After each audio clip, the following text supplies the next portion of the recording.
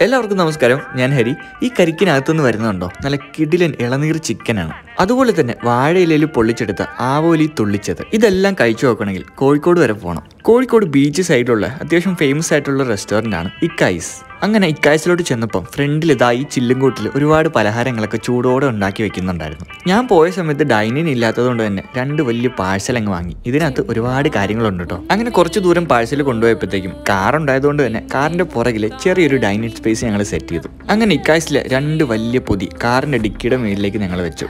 എന്താണെന്നറിയത്തില്ല ഈ സാധനങ്ങളൊക്കെ കണ്ടപ്പോഴേക്കും നല്ല വിശപ്പായിരുന്നു. അങ്ങനെ വിശന്ന വയറോടുകൂടി തന്നെ കാറിന്റെ ബാക്കിലേക്ക് ഞങ്ങൾ എല്ലാം സെറ്റ് ചെയ്ത് വെച്ചു. നമ്മുടെ ആദ്യത്തെ ഐറ്റമാണ് ബീഫ് വാരിയൽ ഇത് തവയിൽ ചെയ്തെടുത്ത സാധനമാണ് കേട്ടോ ആ ചെറിയ വാഴയിലയുടെ മേളിൽ നല്ല അടിപൊളി ബീഫിന്റെ വാരിയൽ ബീഫിന്റെ ആ ഒരു സോഫ്റ്റ്നെസ്സും ടേസ്റ്റ് ഒക്കെ എടുത്തറിയാനുണ്ടായിരുന്നു. അങ്ങനെ ബീഫിന് വാരിയിലൊക്കെ കഴിച്ചിരുന്നപ്പോഴാണ് അടുത്ത ഐറ്റം വരുന്നത്. ഞാൻ കോഴിക്കോട് വരുമ്പം കഴിക്കണമെന്ന് ആഗ്രഹിച്ചിരുന്ന ഒരു സാധനത്തിലൊന്നാണ് ഈ ഇളനീർ ചിക്കൻ ഈ കരിക്കിൽ കുക്ക് ചെയ്തെടുത്ത ഈ മനോഹരമായ ചിക്കനിൽ കരിക്കിന്റെ വെള്ളവും കാമ്പും എല്ലാം ഉണ്ടായിരുന്നു. നിങ്ങൾ കോഴിക്കോട് വിസിറ്റ് ചെയ്യുകയാണെങ്കിൽ ഞാൻ പേഴ്സണലി സജസ്റ്റ് ചെയ്യുന്ന ഒരു കാര്യമാണ് ഈ ഇളനീർ ചിക്കൻ അങ്ങനെ ആ ഒരു കരിക്കിനകത്തുള്ള ചിക്കന്റെ കണ്ടന്റ് എല്ലാം പ്ലേറ്റിലോട്ട് കൊട്ടിയിട്ടു. അവിടുത്തെ ഒരു സ്പെഷ്യൽ പത്തിരിയും കൂട്ടി നമുക്ക് ആ ചിക്കനിൽ ഒരു പിടിയങ്ങ് പിടിക്കാം. ഇളനീർ ചിക്കന്റെ ആ ഒരു മേക്കിംഗ് രീതിയും പ്രസന്റേഷൻ മാത്രമല്ല അതിന്റെ ടേസ്റ്റും ഒരു രക്ഷയിലായിരുന്നു കേട്ടോ. ഒരു വലിയ കരിക്കുണ്ടായിരുന്നെങ്കിൽ തന്നെ അതിന്റെ അകത്തുള്ള ചിക്കന്റെ ക്വാണ്ടിറ്റി ലേശം കുറവായിരുന്നു. ഈ ചിക്കൻ പീസസ് ഒക്കെ നിങ്ങൾ കാണുന്ന പോലെ തന്നെ നല്ലോണം വെന്തിട്ടുണ്ടായിരുന്നു. പിന്നെ പൊറോട്ടയും വേറൊരു സാധനം കൂടെ ഞാൻ പരിചയപ്പെടുത്തുന്നുണ്ട്. ഞാൻ അങ്ങനെ ഇങ്ങനെയൊന്നും കഴിച്ചിട്ടില്ലാത്തൊരു ഡിഷാണ് കുഞ്ഞിക്കോഴി പെരട്ട്. ആ ഒരു